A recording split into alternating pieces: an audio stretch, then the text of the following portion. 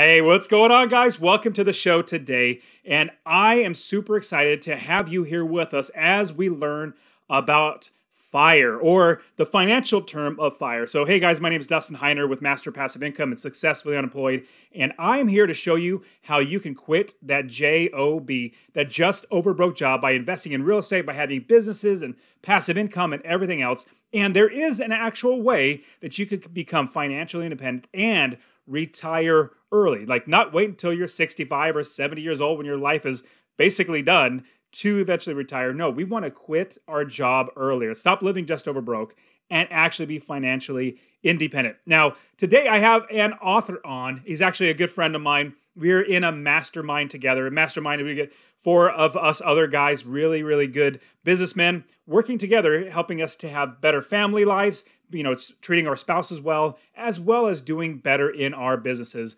And this gentleman has already sold a business in the past. He's done really well in real estate as well. He's also coaching people how to be financially free and be on fire, which we'll get into in just a second. I have my good friend Michael Quan here on the show. Michael, thanks a lot for being here on the show. I'm glad to have you. Hey Dustin, thanks so much for having me back. And it's it's great to be on your show. For those of you listening, you know, of course, Dustin has done amazing things with real estate and fire really is all about the same core fundamentals, right? getting that financial independence, getting that cash flow so that you can quit that job that Dustin's always telling you about. I love it. And thinking about how you have actually caught on fire. Well, let's let's talk about that. Now, you and I have talked a lot about this before in the past, over and over again at length that the term fire is something that you really have to explain because most people either don't know it or don't really get it. So, uh, let us understand what does fire when it comes to financial freedom, financial independence, all that sort of stuff, like financially, what does it mean by being on fire? That's a great question, Dustin. And and here's the funny thing: when I retired early from my nine to five career when I was 36, there was no term out there that I could find. I, I just thought that I'd retired early and um, done something interesting. But it turns out that over the course of blogging, I'm a blogger as well.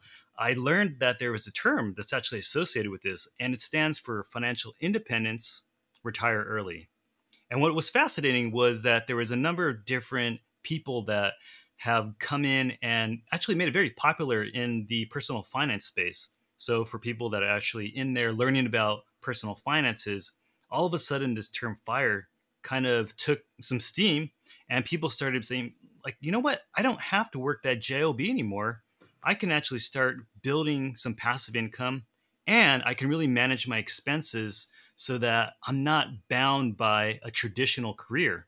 And so that's where I get really excited and passionate about is because like you, you know, life is I think meant to be lived to create impact and and make relationships and share and really find our true authentic selves. And I think it's hard to do when we're stuck in that job, right? When you're working for money, then you're coming from that area of scarcity and and I really want people to know that there's another way, there's another path. So that's why I'm so excited to kind of bring this book out this at this time. It's called The Fire Planner. And what it does is it really walks you through what the fire essentially is, the whole concept, and how it came, came to be with these different personalities like Mr. Money Mustache. Um, he's someone that's in there that has really, I think, resonated with people thus far, as far as, hey, you know what? Let's be mindful of our money. Let's not spend money on things that don't really matter. You know, how much money are you spending every single month on a car? How much money are you spending every single month on rent? And all of these other items that you actually have a lot of control over, but we get enamored in society with what we're supposed to have. So, FIRE is financially independent and retire early, all combined. It's an acronym for all that. Now, is it necessary that you have to be a millionaire in order to achieve fire or how does it what's what's the i guess the gauge or the criteria to actually say you know what? I've achieved fire. Yeah great question. So l- let me break it down a little bit for you. So because it's an acronym and it stands for financial independence retire early let's take the first part which is the fi the fi so financial independence is actually referring to when you have enough passive income to cover your daily expenses and so, you know, it's really a relative number because if you spend $30,000 a year all of a sudden you don't need that much money to retire early on. However, if you have $100,000 every single year that you're spending on, then your fire number is going to be a little bit higher. So the quick rule of thumb is to really multiply your annual expenses by 25 to figure out what that financial in, financial independence number is. That FI number is what we like to call it. So in that example, we could take $100,000 and, you know, say if you're living large, right? $100,000 a year is a lot of money to spend every year, but some people that's that's the lifestyle they want to live. For them, if you multiply that by 25, then all of a sudden you're going to come to the number of 2.5 million dollars. So in that case, yeah, you're going to need multiple millions of dollars. But guess what? Not everyone needs that much money. And what's interesting is that Mr. Money Mustache said, you know what? I'm living on $30,000 a year. I don't have a car. I bike to work. I go out and walking. I do all these things that are not necessarily, you know, traditional societal norms, but I'm happy. It, it makes me happy. I'm fulfilled. And these are the things that I'm doing. And I don't spend a lot of money. Guess what? All of a sudden, I can retire on this this other number, which is seven hundred fifty thousand dollars. So in that case, do you need a million dollars? Nope, you don't. So truth is, most people are somewhere in, in between that. Um, you know, somewhere f- further on the extreme, and others are you know further out. And I think for you and m- myself, that's where real estate is really exciting, right? Because with real estate, it's really a place where you can create some of that passive income and that cash flow that can make that fire number really start working for you immediately. So when I started really thinking about never having to work a job again, I was thinking only thing I really wanted to do was not work for somebody else. If I had another business, if I had investments, whatever it might be, I just really didn't want to work for somebody else because of um, wanted to have the freedom to do whatever I want whenever I wanted to. Not saying I wouldn't work because I love being busy. I love working. I love uh, providing for my family. I love doing that, but I just got tired of working for somebody else. So my, I guess, way to get to fire wasn't necessarily let's let's say if it was $100,000 a year, which I we definitely don't spend that. We're very frugal. We're maybe I don't know, 30, $40,000 a year. We own our house or we own our car, so we just don't have that many expenses. But let's just say it's 100,000 and you have to get to 2.5 million dollars. Well, I look at it a little differently and tell me if, if this is a, a good way to also look at it was I said, I have my expenses. Let's say with the mortgage and everything, it was four thousand dollars a month total. That's like everything. That's food. That's uh, emergency fund. That's uh, saving for vacation. That was four thousand dollars total every single month that we had to to pay. That's you know that's only forty. Was that forty eight hundred dollars? Um, sorry, forty eight thousand dollars a year in expenses that I had. So with four thousand dollars a month, I thought, you know what I need?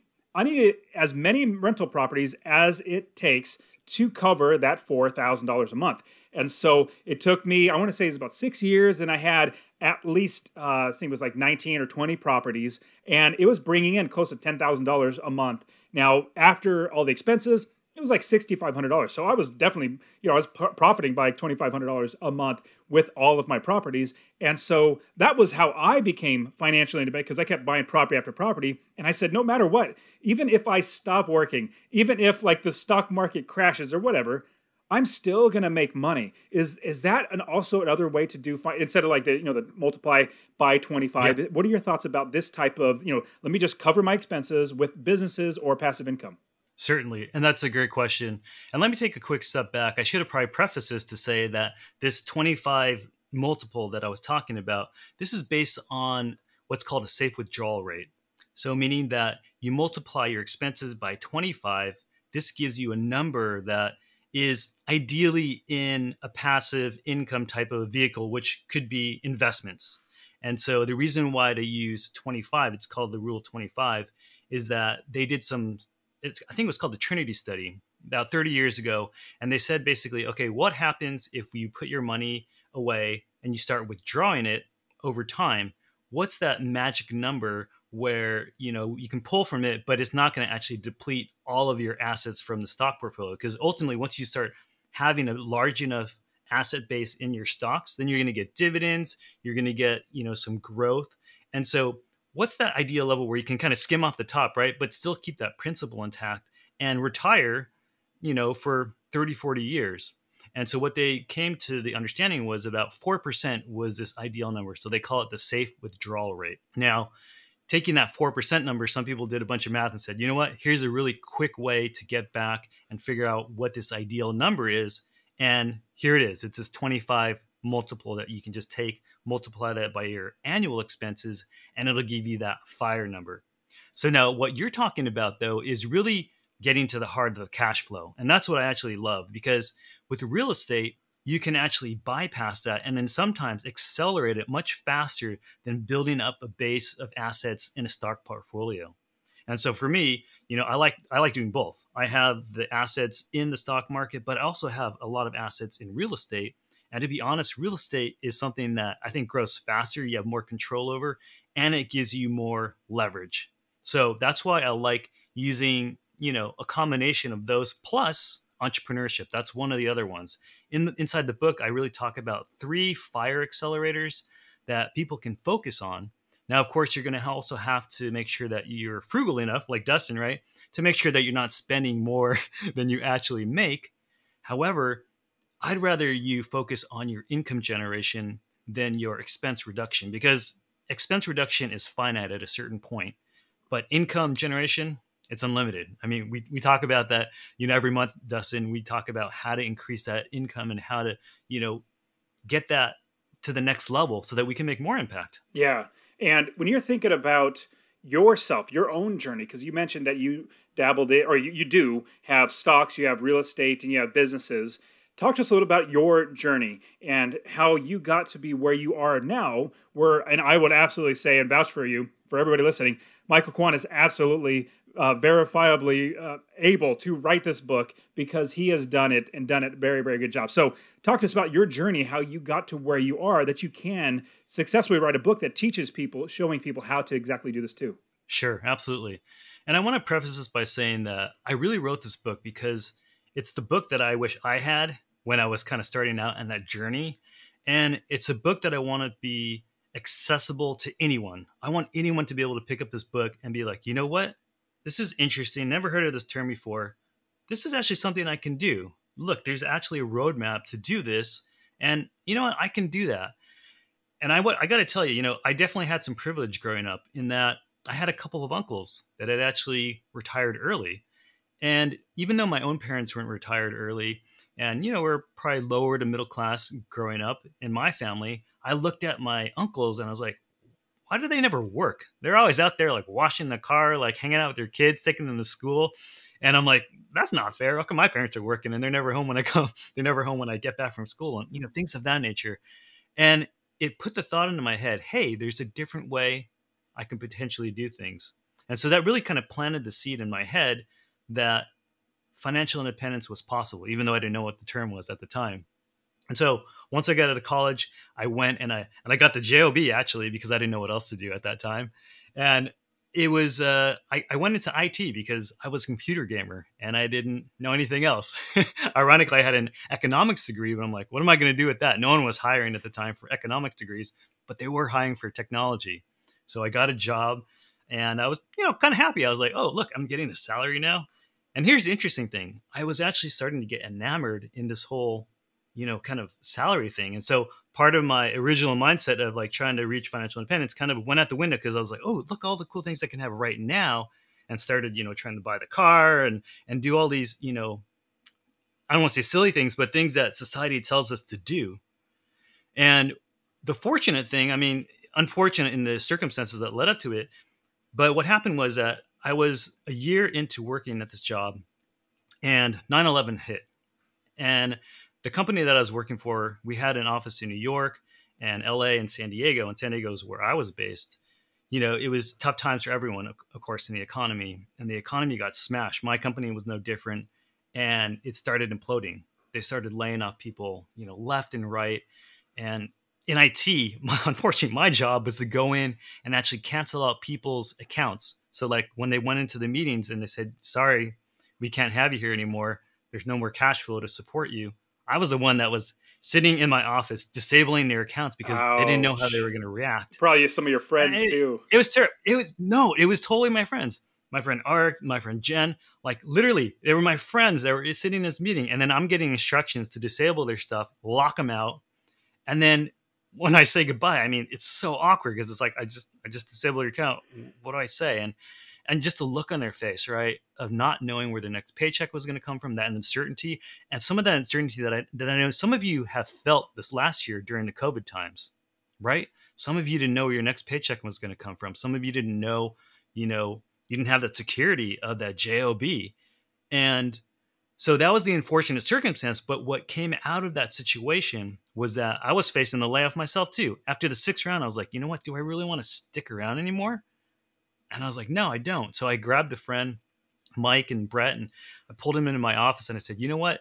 Do we want to really stick around for round seven? We can see where this is going. Let's go do our own thing. And that's exactly what we did. We started our own IT support and services company and we just grinded. We grinded hard. We got on our hands and knees. We plugged in cables. We were like, you know, serving the customer at the base level needs. But slowly over time, we really built up this company over the course of 10 years started adding employees. We ended up buying a couple of smaller companies. And by the end of it, we had a national, you know, presence and we were able to sell that company to another company. And that was really, I think, the point where I said, you know what? This is interesting. I actually have some flexibility now. Let me go ahead and use some of these assets that I just got from the sale of the business and let me plunk it down into real estate. And so that's where I bought my first couple of cash flowing properties. And when I finally the dust settled from all the sale of the company, I worked for them like a year and a half or so, eventually left. I was like, you know what? I actually had the flexibility to do whatever I want. You know, as Dustin said, I was successfully unemployed. There you go. and and it was phenomenal. It is fantastic. And I really got to spend the last six to seven years at home with my kids, being present.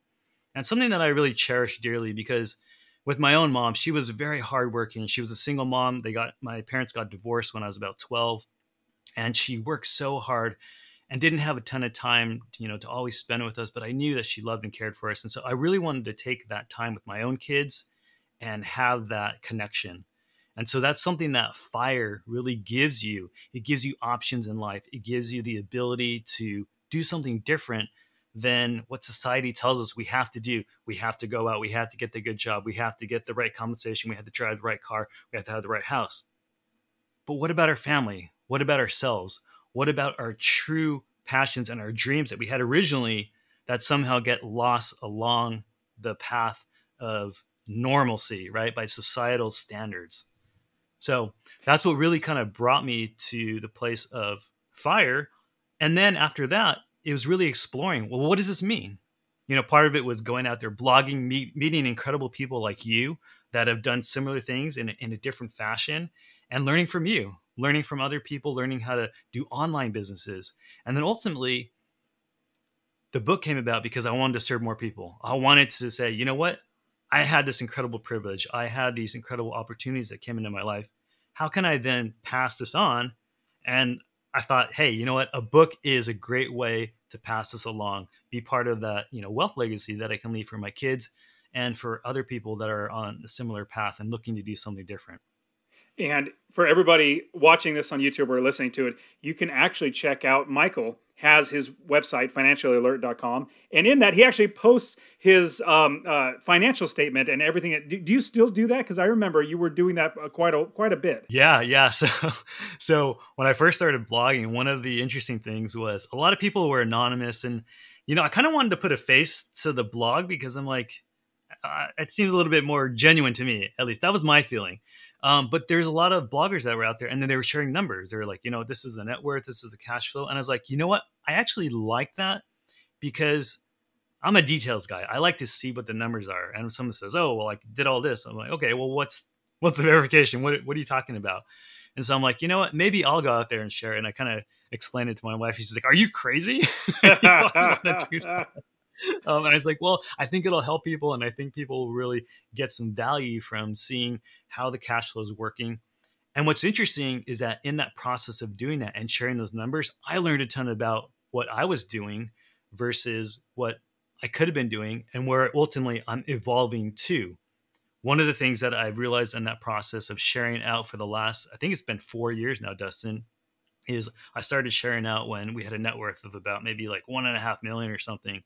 And over the last, you know, four years or whatnot, there's been different events, right? So real estate transactions, um, investments that have started to grow, and you know, very blessed. But you know, over time, it's it's increased by like another seven figures just because of you know inflation and, and all these other elements and some good timing of assets um, and investments that I've made. And I wanted to share that journey, and I wanted to share why I was doing specific things, why I was taking equity from one of the properties most recently and putting it to something else because there was a bunch of debt equity in one of my properties that I thought was actually a good real estate investment and it wasn't. And so, you know, blogging really gave me that outlet to to even express that to myself and then conversing with you, you know, we really kind of got to realize, okay, well, let's make a move here. And then when I made the move, I mean, I went to people like you, experts like Dustin, and I was like, you know what? How do I sell this myself so I don't have to pay the, the real estate agent that's just sitting out there handing out these silly flyers? I can do that myself. I'm fired, so I've got the time. And I did exactly that. You helped me to save, I think, somewhere upwards of like thirty thousand dollars on this this last sale. So yeah, and that was a property in San Diego that you owned. And as we were talking about it, I'm like, man, if you took that money that you had there, deploy it in other places, because right now it, you're you're limited how much you can make there just because of rents but the the worth of that house is so much more.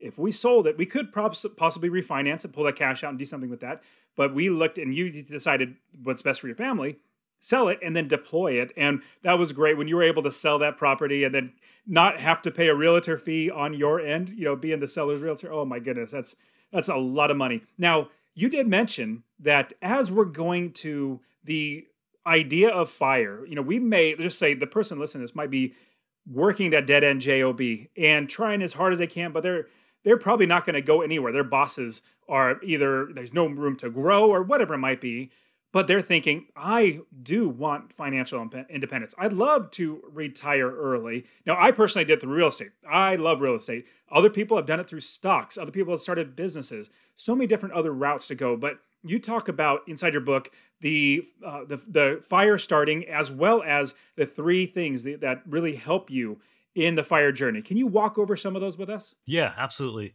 Yeah, so the three things that you're mentioning are what I like to call the fire accelerators.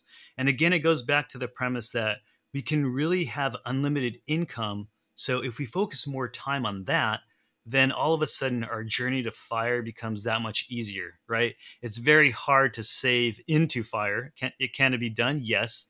You might be miserable eating beans and and cheese and tortillas every single day.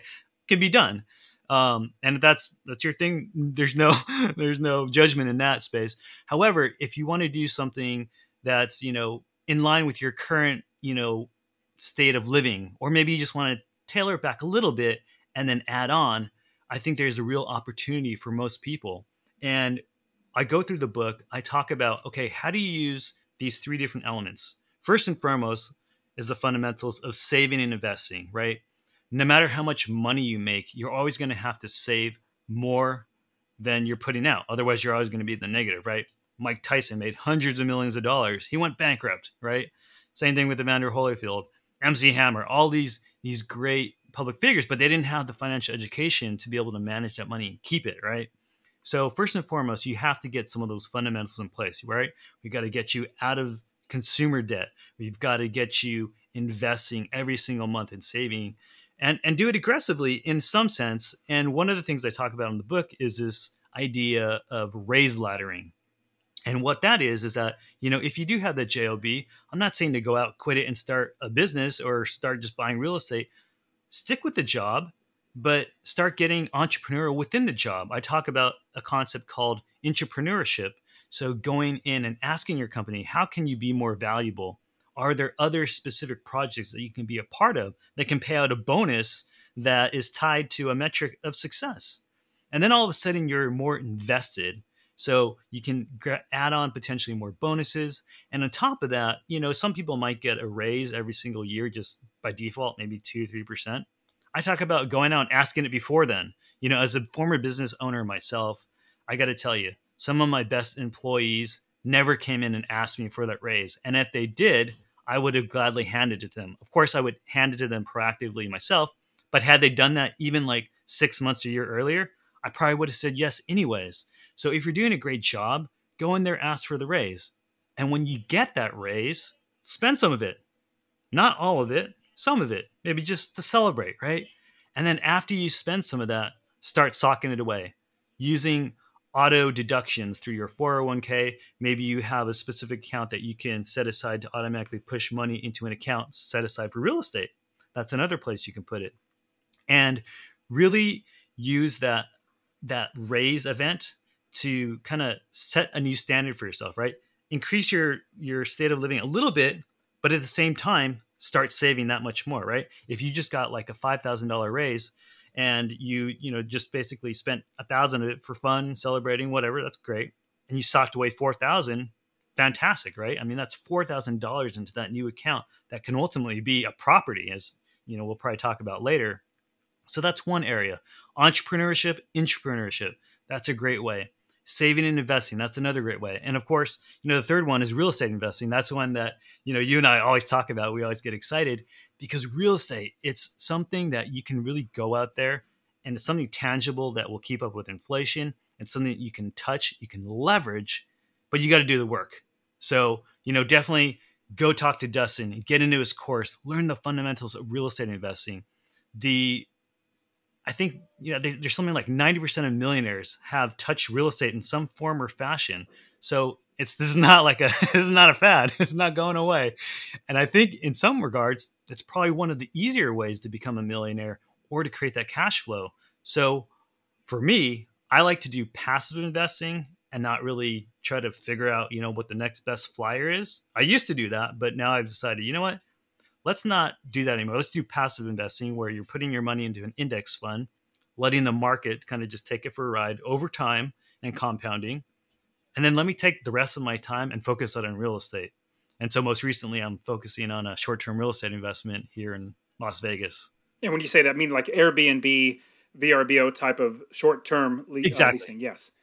Awesome. Exactly. Yeah. And so there are a lot of different ways to actually invest your money for future so be 401k, be your mutual funds, be actual stocks, um, real estate. There's so many different ways that you can actually do, do that. But at the same time, it's I personally, I definitely want to hit on that the starting of a business is something that is it, it really is different in my opinion than like say buying a stock you know anybody can buy a stock it literally anybody you get on robinhood and you can absolutely buy a stock i mean gamestop showed us that that's actually possible for anybody to do that. But think about starting a business now. And you've started many businesses. You've actually sold one, which was fantastic, being able to have that exit strategy to be able to get out of a business. Now, when you're thinking about a business that you're going to start to help you to increase the amount of money you can invest or save, what what go through goes through your head as you're starting a business? You know, and there's a couple different ways to start a business, right? There's the there's the method where you go out and you self-fund it, and then there's the other method where you're going out and raising capital and having someone else fund it. Personally, I like the first method because then you have full control. You're not having to answer to anybody specifically. And unless you're like, you know, holding on to some great patent or something that you can ultimately sell to like an investor, I think it's hard to come in with an idea. I mean, ideas are a dime a dozen, right? Go on and listen to Shark Tank. They'll you'll see you'll see Kevin O'Leary, right, telling me ideas are a dime a dozen, right? I don't care about the idea. I care about the implementation. I care about the raw numbers and is the market responding? So I think if you're going to go out and start a business, you want to first start with the idea, right? And then you want to test. You want to put it out in the market and see if anyone's going to be willing to buy it. Because if they aren't, you should probably pivot before you even get started. It, it's very easy to get caught up in the building portion of a business before you get started with the revenue generation parts of it. And you will absolutely, if you do this and you start talking to your friends and family and say, Hey, I'm, I'm thinking of this business idea. What do you think about this? Everybody, literally everybody's going to say, unless they're brutally honest and they're like, Hey, I really want to help you out. Everybody else would say, Oh man, it's a great idea. You should run with it. But then as soon as you say, Okay, how about you pay me right now for this business, they'll be like, ah, ah, I don't know, it's a little tight right now. So they'll want to pat you on the back and say, good job, go for it. Somebody else will pay you, but why not you? Why aren't you putting out, you know, bringing out your credit card? Well, it probably could be that it's not the best business model. I'm not saying it isn't, but you cannot go, in my opinion, you can't go off of friends and family. You have to go off. If there's a market for it, people are going to pay you for it. So you need to also figure out are people going to actually pay you for it? So um, as you're building that business, what, what so let's say we have something that people are starting to pay us for. Is there anything that we should do in the business that helps us to look at the fire as being the ultimate goal? Like, is it the strategy of selling it and getting out or hiring people so that it runs on its own? What are your thoughts about the fire part of the business aspect? Yeah, that's a great question. And, you know, everyone's going to be a little bit different, but uh, I'm going to speak to those of you that, you know, might have a job right now, right? Where you are getting a, you know, recurring salary every every month and you have some extra time. And so for a lot of people on the journey to fire, I say go out there and start a side hustle start putting out something into the market, whether it's a service, whether it's a product, and start trying to make, you know, an extra couple thousand dollars here, a few thousand dollars there, and see if it takes. And if it takes, then you start doing more of it. You start building processes around that and trying to generate more revenues and then funneling that back into the business to create better processes and then ultimately hiring people to to help you run that essentially, right? And so in our space, Dustin, we're very fortunate in that we get to talk to a number of different online entrepreneurs and some that have done very well for themselves, right? And sometimes, you know, they never intended this to happen. They just went out and they started doing it. So I think if there's one thing that I want to share with you guys is just go out there and start doing it. And you're going to get a result one way or another. Most likely it'll be a negative result, meaning that it's going to not work. And that's okay because that's fine. We do it 10 times, right? And guess what? All you need is one to catch.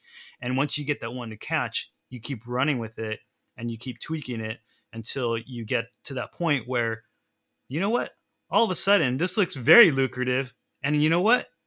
Maybe this JOB is not my focus anymore because look, I saved all this money here. It's generating revenues. You know what? I'm going to focus on this full time. And we know tons of people that have done exactly that. They transition out of that JOB and they become their own individual companies and they go on to expand and ultimately even selling the companies. So that's one strategy, right? That you can always take. Or for some of you, it could be just a side hustle that, you know, you're spending some extra time over the weekend to provide a service and you get an extra thousand dollars a month.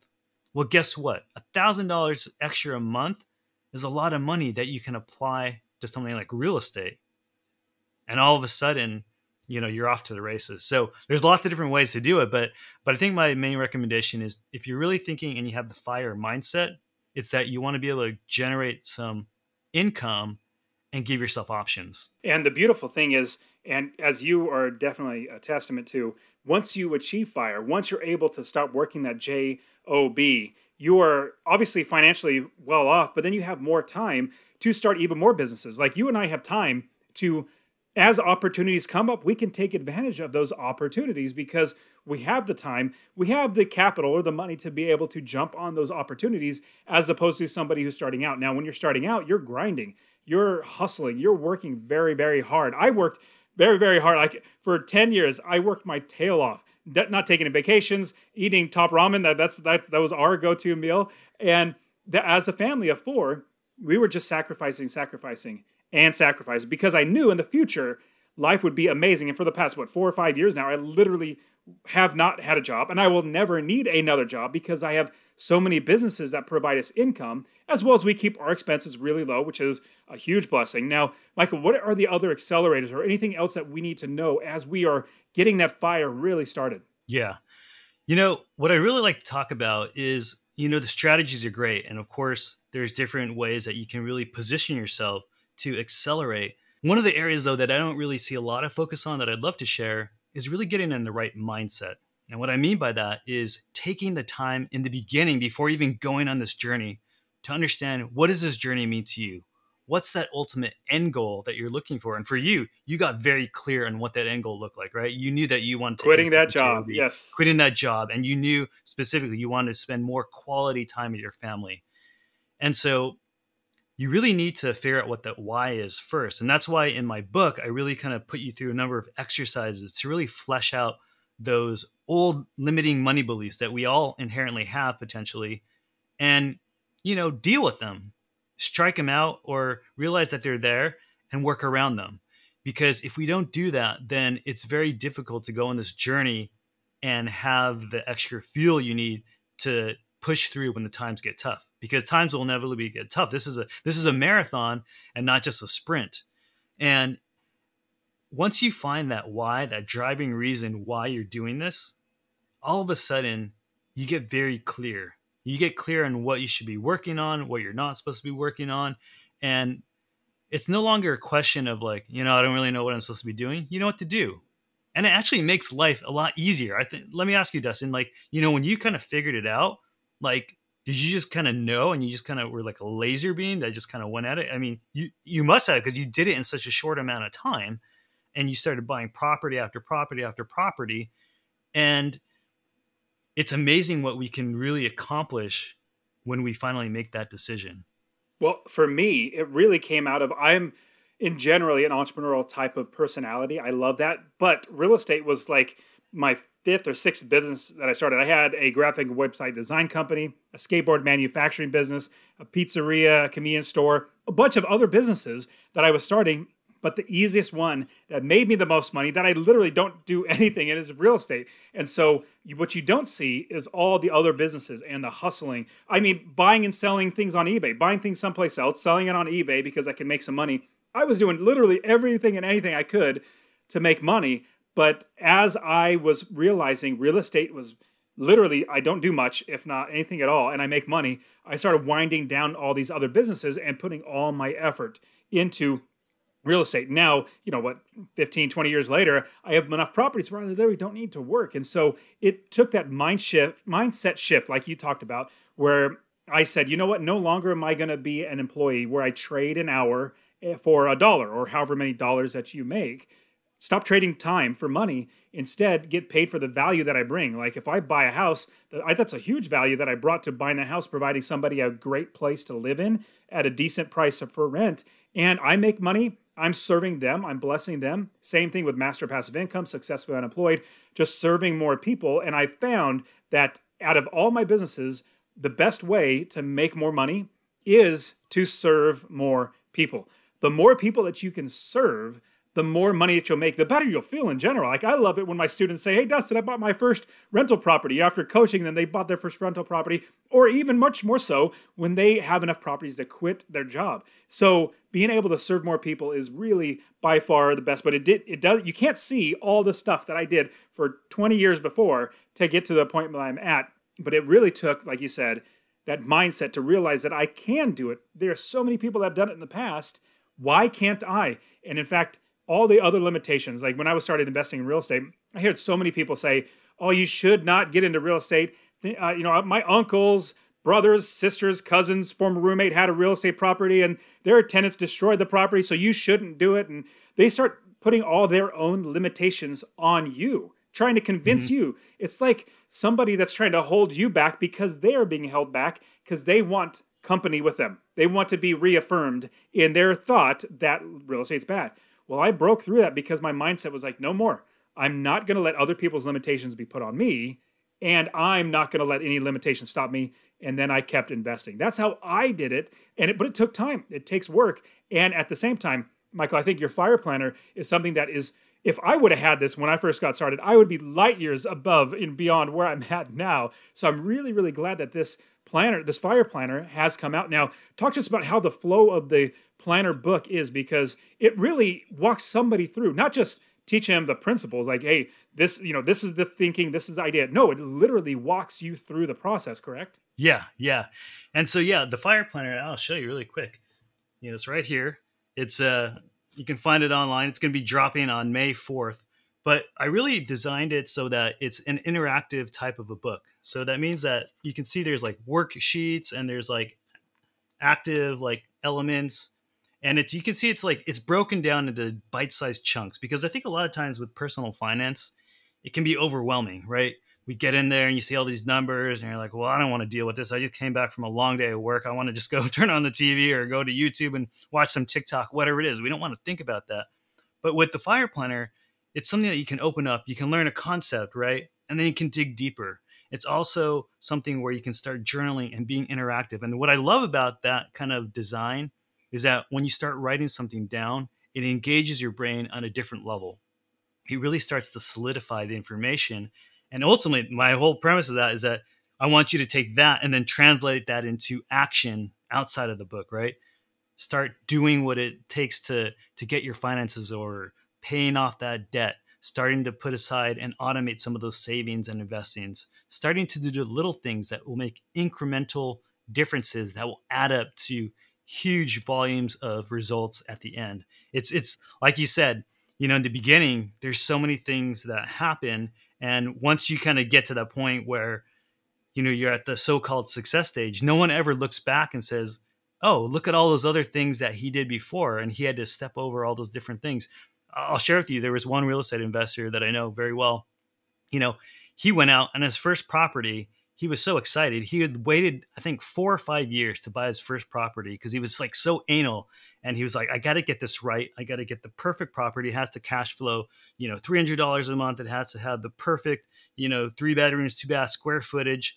And he finally found this one gem of a property. And he was like so excited. He's like, yes, this is like the best thing ever. I finally did it. I waited. This is what I was waiting for, right? These last five years he went in, he actually made an offer against like 10 other people, got the property because he had bid over maybe like 10,000, I think, over the asking price, got the property and was just like, yes, I've, I've got it. I've, I've done it.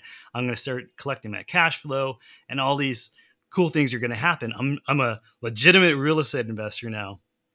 And, and this guy basically started contacting property managers and one of the property managers said to him, Hey, did you know that the complex that you're in this this this I think it's a, called a PDU, a planned urban development. This community with this HOA doesn't actually allow rentals. Like literally does not allow rentals. And he was just like, "What the freak? Are you kidding me?" And so talk about a bad first investment, right? And a terrible income property that couldn't produce income. That's you can't even call it rental property. It's just a property at that point. And he already signed on the dot. He was already paying the mortgage. Um, I think most people in that situation would just throw their hands up and be like, "Well, screw this. This is like the stupidest thing ever. Real estate, burn me. Forget it. I'm out." And I mean, this guy was—I got to tell you, he was kind of dumb for doing that. But here's the good thing: this guy actually was smart because his numbers actually were fundamentally sound. He actually decided to take those same exact numbers, ran the same exact analysis, bought a property across the street three or four months later in a different HOA community where of course he verified that he could actually pick up, you know, rental income from that HOA and he could. And now he holds that property. That property is like doubled, almost even tripled in equity and paid him cash flow for the last 10 years and this silly, crazy investor doesn't. That's me. That's, that's me. You. I'm the idiot that that went into this deal and bought my first rental property that, that you could not basically rent. They were, were forbidden from renting, but you pushed through it. Yes, yes. I mean, you knew. I did. I did. Yeah, you knew that the business model was right.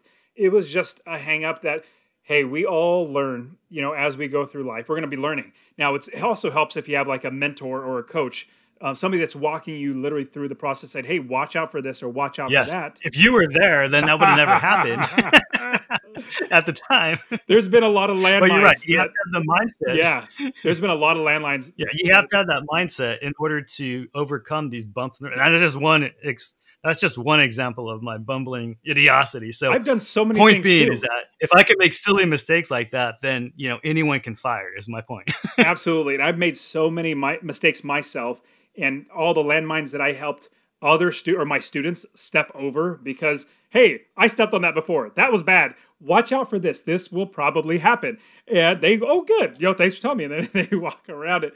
And so i love that you tell that story because as you're thinking about man that would literally stop most people in their tracks. Like oh this can't work. This was just bad. But no no if you have that mindset where you're actually going to move forward with it and you know the business model is going to work out, especially if you've already been taught by somebody else or you've learned just by by um, being being around some a mentor or taking some courses or something like that. Like you understand the business model and you just made a little mistake. Well, it's that mindset that's going to say, you know what, I'm determined to make this work. And because I'm determined, I'm not going to let this stop me because I know it's going to work. This was just a hiccup. In fact, here's the bad thing, or here's what could have been a bad thing you learned from this process. You've learned a lot from this process. If you would have just stopped then and there, you would have wasted that money and you would not have really learned anything because you would not have implemented that into the future of your investing. Now you've literally learned. I know there was a huge story, um, or there was a story a long time ago um, where I can't remember which company is, but a big, big company. So an employee of the company, like the CEO, he was working right underneath the CEO, and this guy was working really, really hard and it turns out he lost the company like a $100 million. And it's a really, really big company, but a $100 million is a lot of money. And he goes to CEO, he apologizes, said, you know, this was my mistake, and he's expecting to be fired. And the CEO says, that would be a hundred a hundred million dollar uh, mistake. That if I let you go, that's I lost that hundred million dollars double over. You've learned. You better not let it happen again. But this is something that you've learned from, take this mistake and get better, make me that money back. And he turned did and got the money back or built businesses, made the business better so he could pay back or, you know, make the money back. But those mistakes will help us. If you, like, I love the saying, you know, whatever doesn't kill you makes you stronger. If you fall off the horse, you get back up. That's the only way that you're going to get better is if you persevere. You push through it. All the hard times that are going to come because they will come.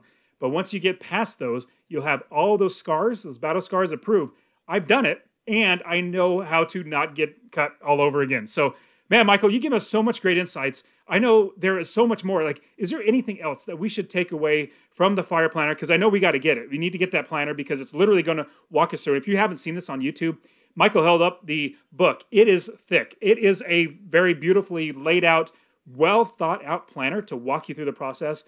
Um, if you haven't, I definitely think you should check it out. The link will be in the description for where you can pick it up. And also, Michael, is there anything else that we should really be thinking about in our walk towards fire? Yeah, you know, I think the only other thing is that, you know, I think there's something for everyone, right? There's something obviously for someone that's just brand new to personal finance. that can pick it up, really understand what fire is, and see if it's a journey that they want to go on. For some people, they may not want to go on it, and that's great. At least it gave them that idea that they know what it is and they can move forward for other people that are already on the path and on the journey, there's so much more that you may not know. And so I, I really believe that this book will help to fill in some of those gaps. And when you finally get to the point of being able to retire early, guess what? That's a choice and it's a thought process. And there's a whole element of understanding okay, what am I going to do with my life next? This book actually walks you through that process so that you're very clear on how you want to transition. I think sometimes people in a traditional sense will retire, right?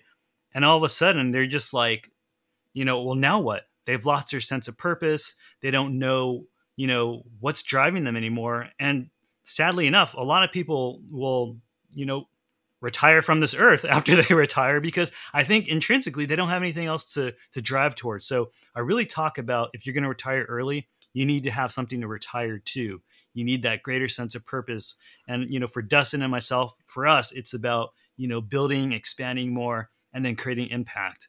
And so, you know, this this fire planner will really take you through that entire process and really give you some of those insights that I wish I had when I first kind of pulled the trigger and was kind of looking around saying, okay, what next? You know, eventually I figured it out but this will just help to to really accelerate that process. So definitely excited for you guys to come check it out. As Dustin said, I'll link it up in the notes. But if you go to financiallyalert.com slash planner, you can go there and see the what the book's about, but also if you pre-order, there's a form on there where you can enter your information and you'll get a ton of exclusive additional book bonuses.